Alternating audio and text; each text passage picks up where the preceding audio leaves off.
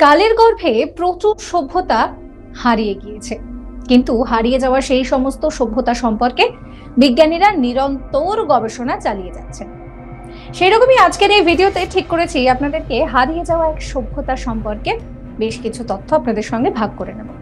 তাই ভিডিও পুরোটা দেখবেন, ভিডিও ভালো লাগলে লাইক করবেন, শেয়ার করবেন, সাবস্ক্রাইব করবেন। আজ তাক বাংলা ইউটিউব চ্যানেলকে ফলো করতে ভুলবেন না আজ তাক বাংলার হোয়াটসঅ্যাপ চ্যানেল। যে সভ্যতার কথা বলছি, সেই সভ্যতা হচ্ছে জর্ডানের এক সভ্যতা।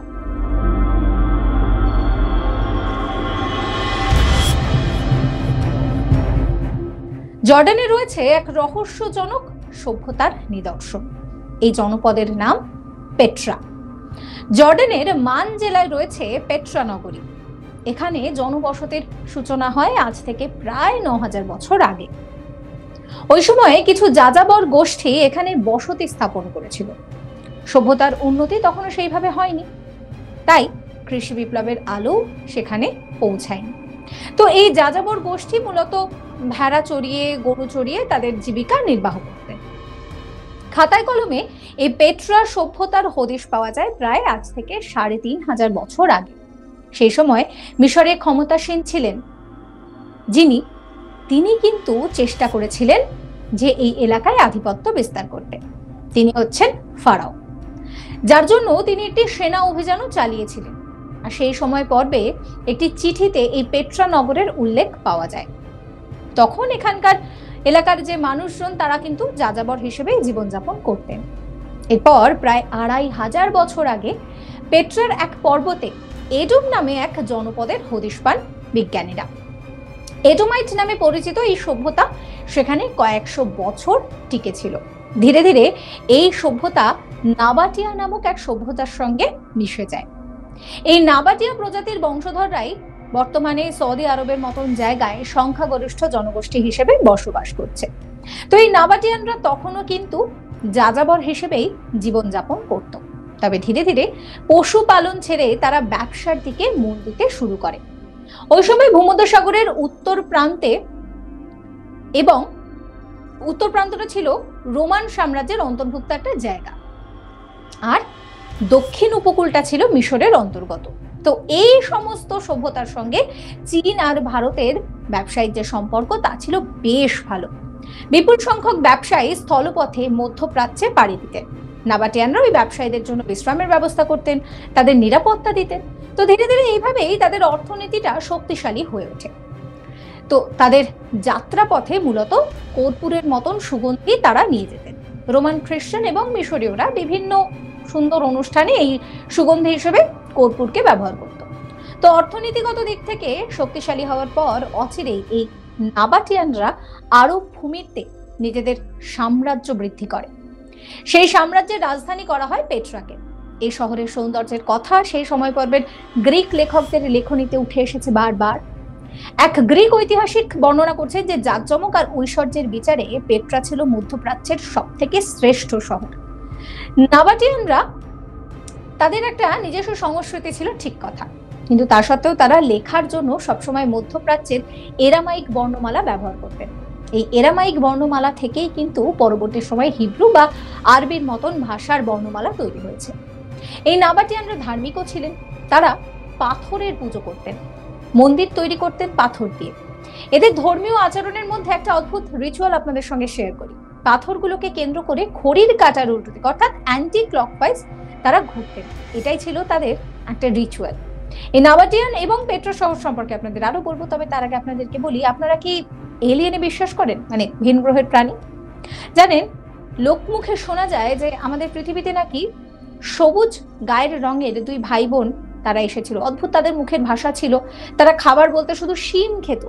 তো সেই ভাই বোন এবং তাদের আনসলভ মিস্ট্রি সম্পর্কে যদি জানতে চান, আই বাটনে লিঙ্ক দেওয়া রয়েছে। সেই লিঙ্কে ক্লিক করে ভিডিও দেখতে পারবেন। ভিডিও ভালো লাগলে লাইক করবেন, শেয়ার করবেন, সাবস্ক্রাইব করতে ভুলবেন না। তো যেটা বলছিলাম যে নাবাটিয়ান সাম্রাজ্য রোমানদের দখলে কিন্তু এরপর চলে আসে। তারা বর্তমানে সেরিয়া হিসেবে পরিচিত। এলাকার নাম রাখে এরাবিয়া পেট্রাইয়া। আর এরও রাজধানী করা হয় পেট্রাকে। পেট্রা তখন তুরস্ক পর্যন্ত, পেট্রা থেকে তুরস্ক পর্যন্ত একটা সুন্দর বড় সড়ো রাস্তা তৈরি করা হয়। অচিরেই পেট্রা শহর বাণিজ্যিক কেন্দ্র হিসেবে গুরুত্ব পেতে শুরু করে। রোমান সাম্রাজ্যের মানুষ তখন এই এলাকাকে কিন্তু চিত্ত বিনোদনের জন্যও ব্যবহার করতেন। রোমান সম্রাট হ্যাড্রিয়ন বেশ কিছুদিন এখানে বসবাস করেছিলেন। তার সভাসদদের লেখনীতে এখানকার রাজকোষ এবং বিলাসবহুল জীবনযাত্রার প্রাচুর্য সম্পর্কে জানা যায়। তবে বেশ কিছুটা সময় অতিবাহিত হওয়ার পর পেট্রার গুরুত্ব ধীরে ধীরে কমতে থাকে। কারণ ব্যবসায়ীরা তখন অন্য পথে যাতায়াত করা শুরু করেন, অন্য শহরের প্রতি তারা আকৃষ্ট হয়ে পড়েন। জলপথে অনেক কম খরচে যাতায়াত করা যায়, তাই তারা কিন্তু পেট্রা শহর দিয়ে যাতায়াত করা বন্ধ করে দেয়। এরপর যেটা হলো এক শক্তিশালী, ভয়ঙ্কর ভূমিকম্প গিলে খেলো এই পুরো পেট্রা শহরটাকে। প্রায় সতেরোশো বছর আগে ঘটে যাওয়া ভূমিকম্পে পেট্রা শহরের অধিকাংশ বসতি নষ্ট হয়ে যায়। এই চারশো বছর পর পেট্রার অস্তিত্ব কিন্তু পুরোপুরিভাবে বিলীন হয়ে যায়। এরপর প্রায় এক হাজার বছর পর এই শহর সম্পর্কে জেনেও মানুষ কিন্তু তাকে শুধু রূপকথা হিসেবেই কল্পনা করেছে। তবে ইউরোপিয়ানরা যখন আবার নতুন করে উপনিবেশ বিস্তার করছে, তখন এই ধরনের ঐতিহাসিক স্থানগুলো খোঁজার একটা হিড়িক পড়ে। এরপর এক সুইস অভিযাত্রী এই পেট্রা শহরের আবিষ্কার করে। তিনি মুসলিম ব্যবসায়ীর ছদ্মবেশ ধরে বহুদিন ধরে এই শহরের উপরে নজর রেখেছিলেন। অবশেষে তিনি সাফল্য পেলেন।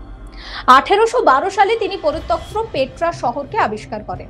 তার আঁকা ছবি এবং গবেষণা পশ্চিমা গবেষকদের ভীষণভাবে আকর্ষিত করে তোলে এই শহরের প্রতি। ফলে পেট্রা নিয়ে আবার নতুন করে গবেষণা শুরু হয়। একশো দুই বর্গ মাইল এলাকা জুড়ে বিস্তৃত এই শহর। এখানে একাধিক কৃত্রিম হ্রদেরও সন্ধান পাওয়া যায়। হ্রদের চারপাশে সাজানো বাগানের অস্তিত্ব মিলেছে। এক মরু এলাকায় এইভাবে কৃত্রিম হ্রদের মধ্যে জলের সন্ধান নিয়ে গবেষকরা বেশ অবাক হয়েছিলেন।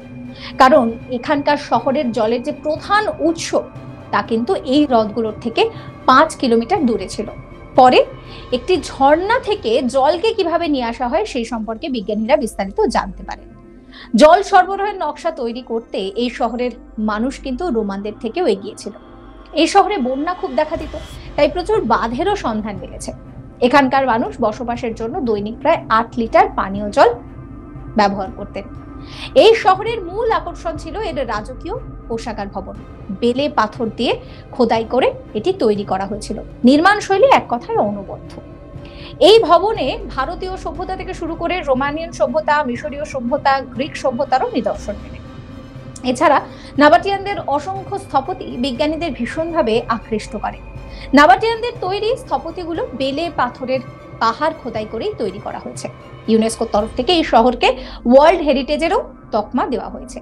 এই শহরের রক্ষণাবেক্ষণ করার জন্য একটি ট্রাস্ট গঠন করা হয়। আর বর্তমানে পর্যটকদের কাছে কিন্তু এই পেট্রা শহর ভীষণভাবে আকর্ষণীয় এক। এই ভিডিও আপনাদের কেমন লাগল অবশ্যই জানাতে ভুলবেন না। সাবস্ক্রাইব করবেন আজ তাক বাংলার ইউটিউব চ্যানেলকে। ফলো করবেন হোয়াটসঅ্যাপ চ্যানেল।